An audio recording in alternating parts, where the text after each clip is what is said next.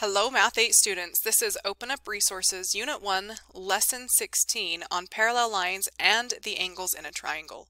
Uh, before we get started on the lesson I do want you to take a second and answer this warm-up question. Uh, In-person students already did this in their calculators but I still want you to have the experience of doing this to warm up. It helps us review our previous material. You do have a quiz coming up with all of this information um, and so I really want to make sure that you're practicing this, uh, focusing specifically specifically on making sure you're able to justify how you know.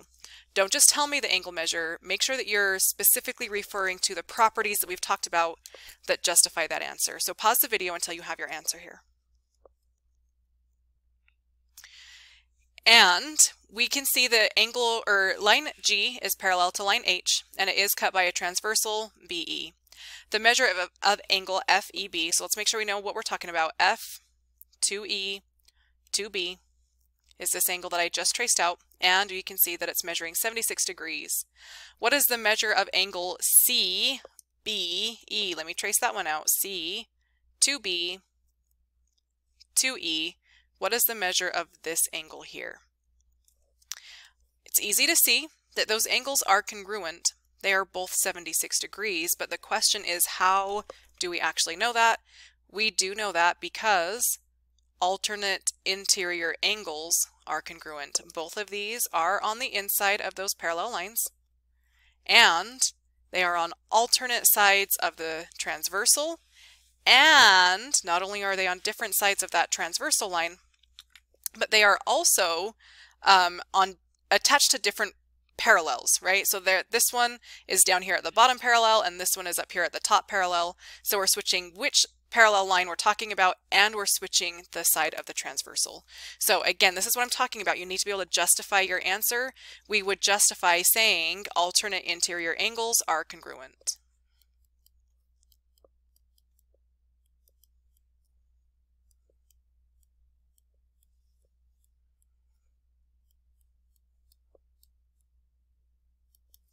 Okay, now we're ready to dive into the lesson. And before we start talking about those parallel lines, we have a quick secondary warm-up, um, true or false computational relationships. Um, it's asking is each equation true? Now you might be tempted to actually calculate, to physically type into your calculator, or mentally compute what each piece of these equations are. I don't want you to do that. We're looking at Math Practice 7, the structure of mathematics here. Um, so pause the video until you've answered each question, figuring out if they're true or false, and then we'll continue. This first equation is false. And again, we do have to do a little bit of calculation on this one, not completely fully calculate, but I do see this is also like so simple to calculate, you almost can't help yourself from calculating it. And 60 minus 30 is 30. So without actually calculating 62 minus 28, I can see, knowing that this is 30, is this also 30? And you can see very quickly that no, it's not 30. So this one is false because it is not 30. Um, other things to look at, 60, and we can see this number here is 62. They're pretty close. This one is bigger by 2. Uh, we can also look and see that this number is 30, and this is pretty close to 30, but it's smaller by 2. So think about this then. These numbers are pretty close to each other, right? Uh, but if I'm going to start with a bigger number than I am here, and subtract a smaller number than I'm subtracting here, obviously that's going to end up being a bigger difference. Uh, so that's another way that we can confirm that this is false. Moving on to the next one. Again, a lot of students in class made incorrect assumptions here, and they said that this was false when indeed it is true. And I'm going to calculate this one fully first, just to make sure that you're not making the same mistake as they are. And then we'll talk about how we don't have to calculate to confirm that it's true. Uh, 3 times negative 8 is negative 24. That's three groups of negative 8. And we have 2 times negative 8. That's negative 16. But then we are also subtracting 8. And negative 16 subtracting 8, type it into your calculator if you need to. I hope that you realize that that is not negative 8 negative 16 we're subtracting, so we're getting even smaller, and we're ending up at negative 24. So actually calculating them, we can see that they are both equal to negative 24. And again, I kind of gave away the hint here. When I see 3 times this number, I see it as three groups of negative 8. So on the left-hand side, I have three groups of negative 8. And when I look over here on the right-hand side, I see that we only have two groups of negative 8. That's what is showing in the parentheses. Two groups of negative 8. But hopefully you remember this from last year. Anytime I see subtract 8, that's the same as adding a negative 8. So I have two groups of negative 8 here, but I also have, right here, is a third negative 8. And so I have three total here, two, and then a third one. So I do have three total negative 8s there. And similar here, this one is also a true equation. It is a true statement. And I'm not taking the time to do 16 divided by negative 2 and 24 divided by negative 2 and 40 divided by negative 2. I'm simply recognizing, hey, all of these have the same denominator. And since they all have the same denominator, it allows me to focus just here on the numerator. So focusing just on the numerator, again, I'm going to do a little bit of calculation, but I'm not computing the whole entire thing. But 16 plus 24 is indeed equal to 40. So that tells me that this is true even without me having to divide each thing by negative 2. Now we're ready for the lesson. And uh, online learners, you do have an applet for this. I'm not going to be using the applet because I've spent a lot of time building this, this little PowerPoint, so I'm going to use that PowerPoint. Um, but to get started, it says to rotate triangle ABC 180 degrees around the midpoint of side AC. Now, in case I haven't mentioned this before, when we rotate 180 degrees, we don't have to specify the direction. For example, my hand is facing you. I'm going to rotate my hand 180 degrees uh, counterclockwise. So counterclockwise is going to go this way and my hand is now facing me. I'm going to reset now. And now my hand, actually my hand won't do this. My hand it needs to rotate 180 degrees the other way, and now it's facing me again. Uh, so the point is that it doesn't matter if we're going clockwise or counterclockwise, we're still going to be facing this direction. And so that's why we start to be a little bit language, or a little bit lazy with our language when we're talking about rotating 180 degrees. And we don't say clockwise or counterclockwise because it doesn't matter. So 180 degrees around the midpoint of side AC. So my first step is to find side AC, found it, found that midpoint, and we're going to rotate 180 degrees around that point. So let me do that now. I'm rotating it, and of course I'm not using that geometry software, so I've got to move it into place, and that is the new position there. So step one completed. Step two says rotate triangle ABC 180 degrees around the midpoint of side AB this time. So now I'm finding the midpoint of side AB there's that midpoint, rotating it 180 degrees, which I hope that you guys are doing in the applet. It is going to get it into that position. And I did skip those steps actually. It says once we rotate here, we're going to label that vertex D, and this new vertex is going to be labeled E. it says, look at the angles EAB, BAC, and CAD. Without measuring, what do they add up to be? But that's a lot to think about. So I'm going to slow it down. E, A, B. I just traced out that angle right here. E, A, B. I'm going to go ahead and underline it in the same color. B, A, C. That's B to A to C. I just traced out this angle here. And C, A, D.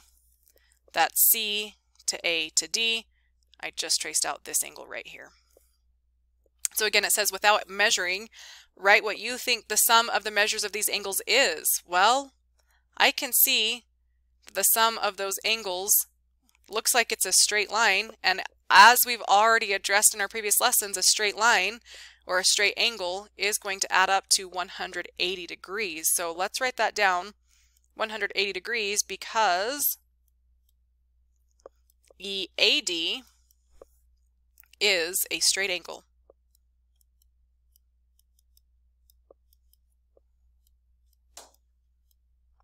Okay, so is the measure of angle EAB equal to the measure of any angle in the triangle ABC? Let's think about what that's saying. Again, EAB, that's the one that we've colored purple. EAB is purple. Is it equal to anything else in this original triangle? Think about how we even got this triangle here in the first place, right? We did rotate that triangle So when I rotate that triangle that 180 degrees, it ends up here. But what angle is that in the original? That would be angle A, B, C. I'm going to show you one more time. Only this time, I'm going to group that together so that when I rotate it into position, you can see what happens here. It's purple right now, rotate it 180 degrees, and I'll have to slide it back into position, and you can see that it lines up perfectly there with ABC. So angle ABC, because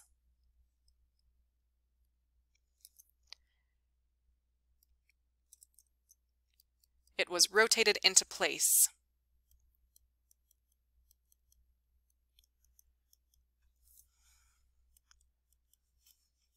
To be angle EAB,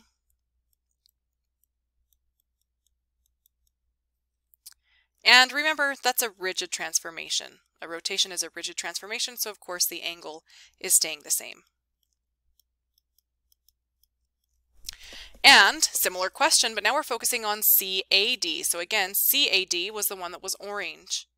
What about CAD? Does that have something in the original triangle? Sorry, I skipped ahead. Let me actually color that one in purple now that we know it. And again, I hope that you're coming to uh, the same conclusion that we can rotate it back into place from where it originally was, and we are seeing that it would, of course, be angle ACB. I'm going to go ahead and color that in now so I don't forget. And so, again, that is, I forgot the letters, ACB.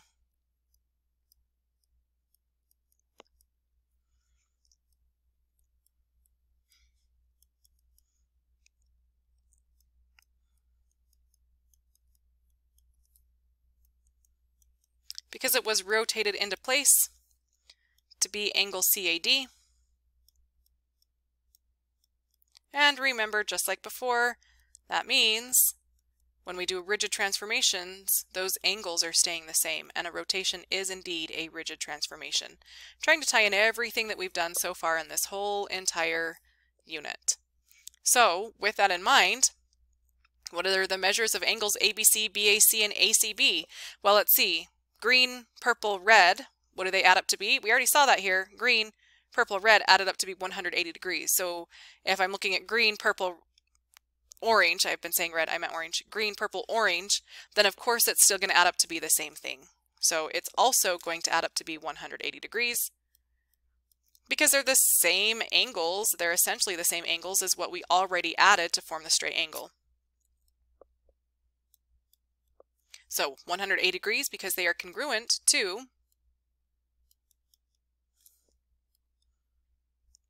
the angles that added to 180, 180 degrees are straight angle.